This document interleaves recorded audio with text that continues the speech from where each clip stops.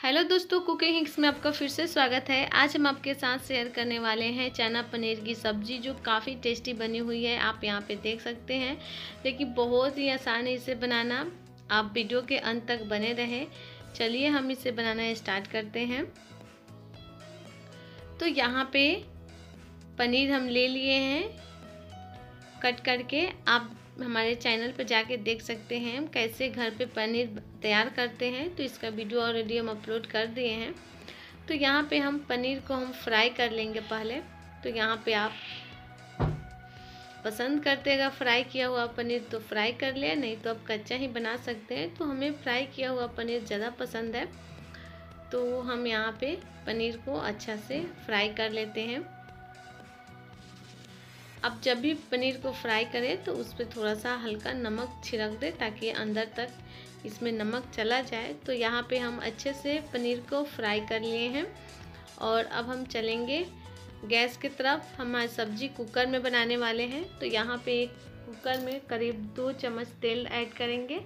तेल गरम हो जाएगी दो तेज़पत्ते, एक इंच दालचीनी का टुकड़ा, एक बड़ी इलायची और यहाँ पे दो सूखी लाल मिर्च और यहाँ पे हम ऐड करेंगे एक चम्मच जीरा। इन सारे मसाले को हम कुछ सेकेंड के लिए भुनेंगे ताकि इसका कलर चेंज हो जाए और अच्छा से इसका जो फ्लेवर है वो तेल में आ जाए।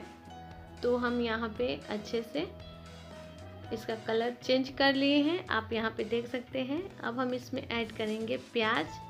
प्याज हम करीब चार से पाँच लिए हैं, क्योंकि हम यहाँ पे 250 ग्राम चने लिए हैं। तो प्याज हम चार से पाँच, यानी जितना हमारा चना रहेगा, उतना ही हम प्याज ऐड करेंगे। तो यहाँ पे अच्छे से हम एक मिनट भुनने के बाद प्याज को इसमें हम चने, भिंगोया हुआ चना है ये, इसमें हम ऐड कर देंगे। तो यहाँ पे साथ ही ऐड करेंगे हल्दी पाउडर और नमक। इन्हें हम मिक्स करेंगे और कुकर का जो है वो ढक्कन लगाकर इसमें एक दो सीटी आने देंगे। थोड़ा सा हम यहाँ पे पानी ऐड कर दिए हैं ताकि ये चिपके नहीं तली में। तो यहाँ पे दो तीन सीटी लग रहे हैं। तब तक हम आपको मसाले दिखा देते हैं। यहाँ पे हम एक चम्मच काली मिर्च एक चम्मच लाल मिर्च पाउडर, एक छोटी चम्मच धनिया पाउडर, एक चम्मच काश्मीरी लाल मिर्च पाउडर, आधे चम्मच गरम मसाले। बस हम इसमें यही मसाले ऐड करने वाले हैं, ज़्यादा मसाला नहीं। तो यहाँ पे कुकर में सीटी लग गई है। यहाँ पे सारे प्रेशर निकलने के बाद आप देख सकते हैं, बहुत ही अच्छे से चने भी सॉफ्ट हो गए हैं, प्याज भी गल गए हैं। तो अब हम इसमें सबसे पहले अदरक लहसुन का पेस्ट करीब दो चम्मच ऐड करेंगे और हम इसे वापस गैस पे चढ़ाएँगे। तो इसे हम एक से डेढ़ मिनट भून लेंगे ताकि अदरक और लहसुन का जो स्मेल आती है वो सब्ज़ी में नहीं आए। तो इसलिए आप मसाले ऐड करने से पहले एक से डेढ़ मिनट पहले आप अदरक, लहसुन का पेस्ट डाल के उसे अच्छे से भून लें। तो हम यहाँ पे साथ ही डाल देंगे एक पक्का टमाटर, उसे हम बारीक कट करके ऐड करेंगे। यहाँ पे अदरक, लहसुन का पेस्ट और टमाटर साथ ही दोनों भून जाएँगे। तो यहाँ पे करीब अब एक से डेढ़ मिनट हो चुके हैं। अब हम इसमें मसाले, जो भी हम आपको दिखाए हैं, वो ऐड करेंगे। साथ ही दो तीन चम्मच हम पानी इसमें ऐड करेंगे और अच्छे से मिक्स करेंगे। यहाँ पे मसाले को भुनना बहुत ज़रूरी है। तो आप गैस का जो फ्लेम है, वो आप मीडियम कर दें। लो टू मीडियम और मसाले को करीब आप सात से आठ मिनट भून लें। तो यहाँ पे हम बीच बीच में मसाले को चलाते हुए सात से आठ मिनट भून लिए हैं। आप कलर देखकर पहचान सकते हैं मसाले कितने अच्छे से कुक हो गई है। तेल और मसाले बिल्कुल अलग हैं।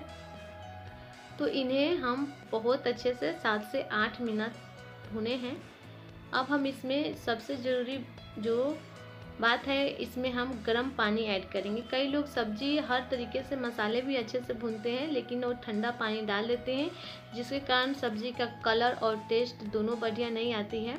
तो यहाँ पे आप चावल के साथ खाना चाहते हैं या फिर पराठे के साथ, उसके अनुसार आप पानी इसमें ऐड कर दें।